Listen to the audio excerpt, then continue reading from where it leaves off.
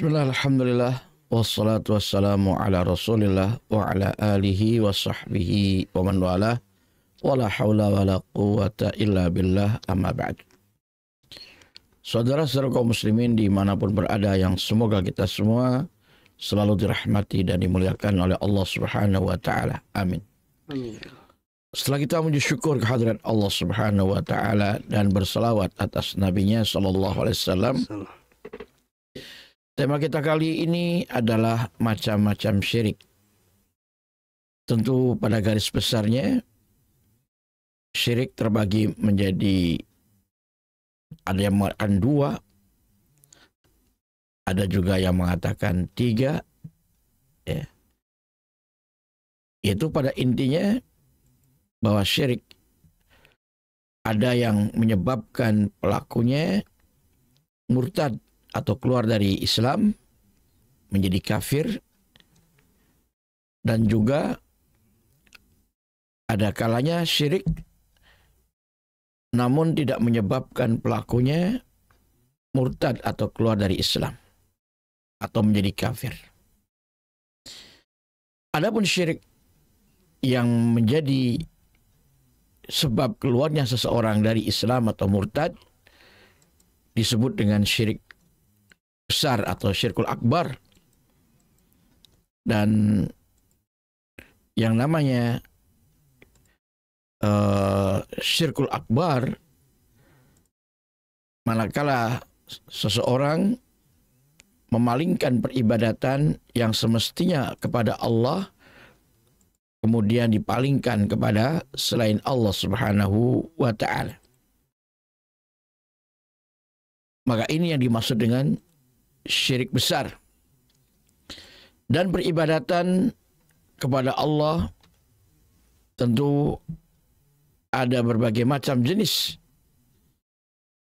Ada kalanya kita berdoa kepada Allah, manakala kita berdoa kepada selainnya, kepada kuburan atau kepada batu dan kayu, atau kepada jin dan malaikat atau yang lain kita meminta atau berdoa kepada mereka yang semestinya kita berdoa kepada Allah saja maka itu bisa menjadikan seseorang murtad dari Islam karena melakukan syirik akbar atau syirik besar. Begitu pula seseorang menyembelih binatang yang semestinya untuk Allah Subhanahu wa taala karena Allah dan bahkan menyembelihnya juga dengan menyebut nama Allah lalu dipalingkan penyembelihan hewan tersebut misalnya untuk kuburan atau untuk jin atau untuk selain Allah Subhanahu wa taala maka itu bisa mengantarkan pelakunya untuk murtad atau keluar dari Islam. Menjadi orang yang kafir. Dan itu namanya syirik besar. Begitu pula seseorang bernazar untuk selain Allah yang semestinya bernazar itu adalah ibadah hanya kepada Allah saja bernazarnya, ini bernazarnya kepada selain Allah Subhanahu wa taala. Misalnya bernazar kepada kuburan atau bernazar kepada orang yang sudah mati ya, atau bernazar kepada selain Allah maka ini bisa menyebabkan pelakunya murtad dari Islam atau menjadi kafir. Dan apalagi tentu ruku dan sujud atau penyembahan-penyembahan yang lain yang semestinya ditujukan hanya kepada Allah saja ini dipalingkan menyembahnya kepada selain Allah. Ruku dan sujudnya kepada selain Allah Subhanahu wa taala.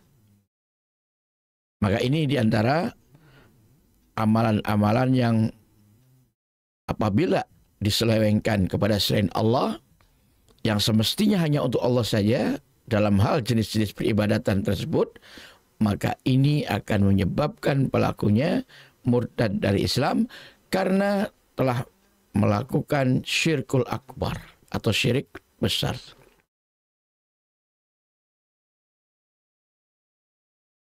Saudara kemudian di antara bentuk-bentuk syirik besar yang lainnya,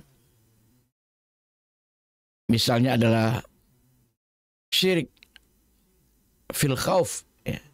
itu syirik dalam hal merasa takut yang semestinya seseorang merasa takut hanya kepada Allah saja, namun mereka merasa takut kepada selain Allah yang menyebabkan ketakutannya itu mendorong mereka untuk memberikan persembahan kepadanya, kepada yang ditakuti dari selain Allah Subhanahu wa taala tersebut. Misal seseorang takut kepada bangsa jin atau kepada pohon yang angker yang kemudian mereka memberikan persembahan berupa sesajen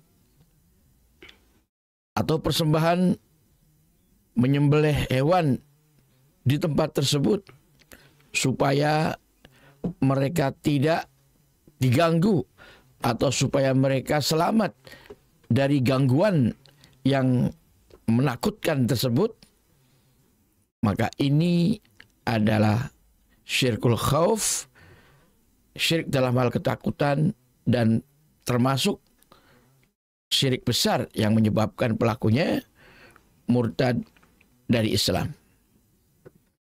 Atau ketakutan-ketakutan yang lainnya kepada selain Allah yang mendorong mereka untuk memberikan persembahan ya kepada selain Allah yang kalau tidak memberikan persembahan maka akan khawatir diganggu atau terkena madarat dari yang ditakuti tadi.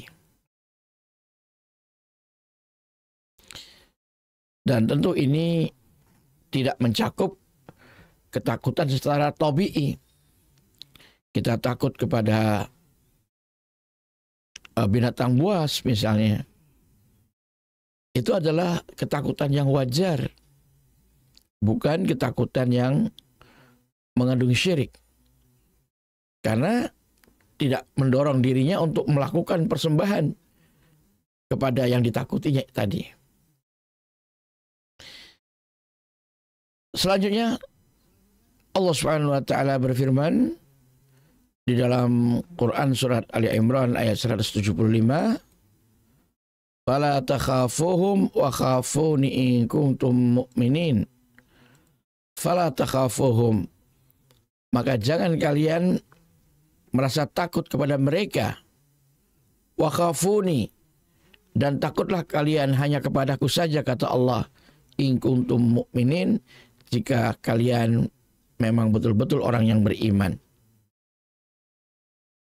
Nah di sini Allah mengingatkan kita agar jangan sampai takut kepada siapa pun kecuali kepada Allah saja yang esa. Begitu pula yang kedua adalah syirik fitawakal. Syirik dalam hal bertawakal. Yang semestinya kita bertawakal hanya kepada Allah saja yang esa. Ini bertawakal kepada selain Allah. Misalnya seseorang bertawakal kepada jimat-jimat, meyakini bahwa jimat ini akan memberikan rizki kepadanya, akan melindunginya, akan menyelamatkan dirinya dari bahaya, akan menolongnya di saat dalam kondisi membutuhkan pertolongan, maka orang yang bertawakal seperti ini kepada selain Allah itu adalah bentuk kesyirikan yang menyebabkan pelakunya murtad dari Islam atau syirkul akbar tadi. Maka hati-hati. Jangan sampai kita pasrah menyerahkan diri atau bersandarkan diri kepada selain Allah Subhanahu wa taala karena makhluk itu pasti lemah. Tidak bisa melindungi kita, menyelamatkan kita, mendatangkan madarat kepada kita ataupun manfaat untuk kita. Jangankan untuk orang lain, untuk diri sendiri saja tidak mungkin bisa. Oleh karena itu kita hanya bertawakalah kepada Allah Subhanahu wa taala. Sebagaimana yang Allah firmankan di surat Al-Maidah ayat yang ke-23 Allah berfirman wa 'alallahi fatawakkalu in kuntum mu'minin maka hanya kepada Allah sajalah hendaklah kalian semua bertawakal jika kalian betul-betul orang yang beriman. Di sini Allah ingatkan kita agar berserah dirilah kalian kepada Allah. Menyerahkan, memasrahkan segala urusan dirinya kepada Allah saja. Allah yang mengatur semua urusan para hambanya. Itu baru tawakal yang benar. Apabila kita tawakalnya kepada selain Allah, ya kepada jin misalnya atau kepada jimat-jimat kepada dukun atau kepada apa yang mereka yakini bahwa mereka-mereka itu akan bisa melindungi dirinya, menyelamatkan dirinya, menyembuhkan penyakitnya, atau memberikan rezeki, menolak bahaya misalnya. Kepada selain Allah Subhanahu wa taala uh, dari selain Allah Subhanahu wa taala maka itu merupakan bentuk kesyirikan dan syiriknya syirik besar syirikul akbar. Ini syirik fitawakal. Kemudian yang ketiga adalah syirik fil mahabbah. Syirik dalam hal kecintaan. Cinta. Ya atau sering disebut dengan syirkul mahabbah. Di mana seseorang yang semestinya betul-betul mencintai Allah dengan sepenuh hati, dengan betul-betul tulus dan ikhlas yang mendorong dirinya untuk tunduk dan patuh kepadanya, bahkan menghinakan diri kepadanya, serta mencurahkan segala ketaatan kepada Allah Subhanahu wa taala karena rasa cintanya dan meninggalkan apa yang dibencinya, apa yang dimurkainya. Maka ini adalah merupakan bentuk karena cintanya kepada Allah Subhanahu wa taala. Maka apabila kecintaan yang seperti ini kemudian dipalingkan kepada selain Allah, cinta kepada selain Allah yang menyebabkan dia tunduk patuh berserah diri kemudian melaksanakan ketaatan-ketaatan walaupun menyimpang dari syariat Allah Subhanahu wa taala atau bahkan berani melakukan hal-hal yang diharamkan di dalam syariat karena mencintai makhluk tersebut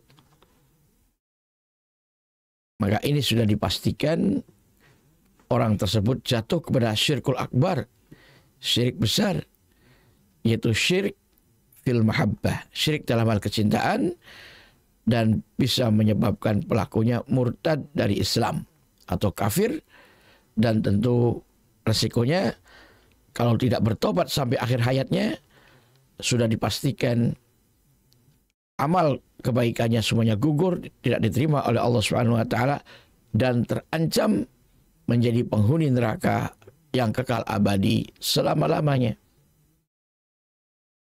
Ini syirik besar. Allah Subhanahu wa taala berfirman di dalam Quran surat Al-Baqarah ayat 165 Wa minan nasi may yattakhidhu min dunillahi andada dan dari sebagian manusia ada orang yang menjadikan selain Allah sebagai tandingan-tandingan atau sekutu-sekutu. Kahubillah seperti cintanya kepada Allah. Ya yuhibbunahum mereka mencintai tandingan-tandingan tersebut. Kahubillah seperti cintanya kepada Allah. Walladzina amanu sedangkan orang-orang yang beriman asyaddu hubbalillah. Lebih sangat cintanya kepada Allah. Ya cintanya itu murni dan tidak terbagi adapun orang musyrik mereka mencintai selain Allah seperti orang beriman mencintai Allah Subhanahu wa taala. Ini namanya syirik fil mahabbah. Syirik dalam hal kecintaan dan ini bisa menyebabkan pelakunya murtad dari Islam. Atau menjadi kafir dan terancam akan kekal dalam neraka manakala tidak bertobat daripadanya. Dan yang keempat adalah syirik fita'ah. Syirik dalam hal ketaatan. Maksudnya apabila seseorang mentaati siapa pun selain daripada Allah dalam hal ketaatan yang batil yang bertentangan dengan syariat Islam misalnya Allah mengharamkan hal ini kemudian ia menghalalkannya dan ditaati kehalalannya itu ikut-ikutan menghalalkannya hmm. padahal Allah sudah mengharamkannya maka ini namanya syirik taat. Atau sebaliknya. Allah menghalalkan sesuatu tapi dia mengharamkannya dan orang-orang mentaati dan ikut-ikutan mengharamkannya padahal Allah menghalalkannya. Ini namanya syirik ta'ah. Syirik dalam ketaatan seperti yang Allah Subhanahu wa taala firmankan di dalam Quran surat At-Taubah ayat 31 ittakhadhu ahbarahum waruhbanahum arbaba min dunillah.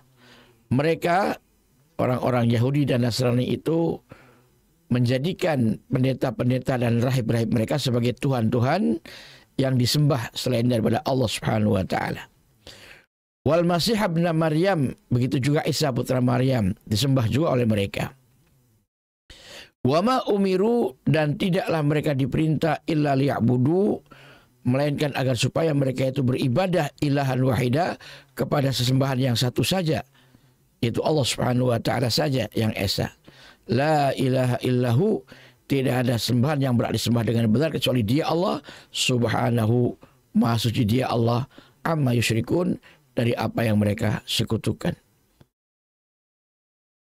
Dikala Adi bin Hatim seorang sahabat Nabi yang mulia yang baru kebetulan masuk Islam saat itu dari sebelumnya beragama Nasrani ia istilahnya berkeberatan ya dengan turunnya ayat ini. Dan dia mengatakan wahai Rasulullah bahwa kami waktu Nasrani ya terus terang tidak pernah menyembah pendeta-pendeta kami atau rahib-rahib kami tidak pernah kami sujud dan ruku kepada mereka. Namun kemudian Nabi menjelaskan, tidakkah para rahib, para pendeta itu menghalalkan apa yang Allah haramkan, lalu kalian ikut-ikutan menghalalkannya dari apa yang Allah haramkan tadi? Atau sebaliknya, ya mengharamkan apa yang Allah halalkan dan kalian ikut-ikutan untuk mengharamkan apa yang Allah halalkan, maka Adi bin Hatim menjawab, iya kalau memang demikian, kami memang seperti itu. Apa kata Nabi? Fatilka ibadatuhum. Maka itulah bentuk peribadatan kepada mereka itu. Jadi ibadah kepada mereka, penyembahan kepada mereka bukan hanya ruku dan sujud, akan tetapi juga dalam hal ketaatan kepada mereka yang tentunya melanggar atau menyimpang dari syariat Allah Subhanahu wa taala. Nah, inilah beberapa macam dari bentuk-bentuk syirik besar yang sangat berbahaya sekali manakala seseorang melakukannya terancam semua amal kebaikannya akan gugur sia-sia dan di akhiratnya akan masuk neraka kekal abadi selama-lamanya selagi dia matinya ya, sampai datang ajal kematiannya tidak bertobat atau belum bertobat dari perbuatan syirik tersebut. Nauzubillah min dzalik. Hmm. Demikian Allah taala wa sallallahu Muhammadin wa ala alihi wa sahbihi ajma'in. 94,3 FM Kita Radio